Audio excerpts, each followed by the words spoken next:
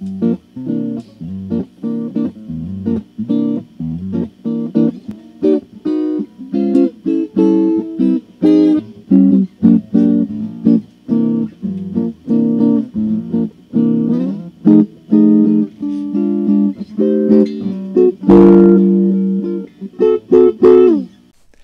you doing? Chase Clark here at Washburn Guitars, and I'm here to talk to you about the new J600K jazz guitar.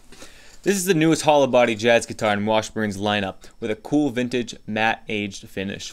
The J600K has a 25.5 inch scale length with a 43mm nut width with a smooth and comfortable to play neck shape. The neck is made of hard maple and has a 20 fret fretboard with block inlays.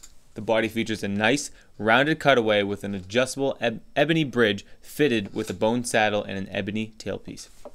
The body is constructed with a spruce top and flame maple back and sides.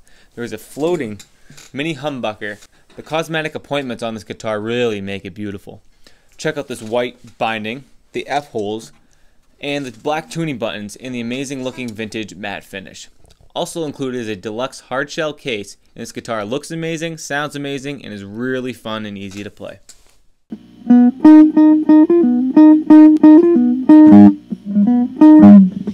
Thank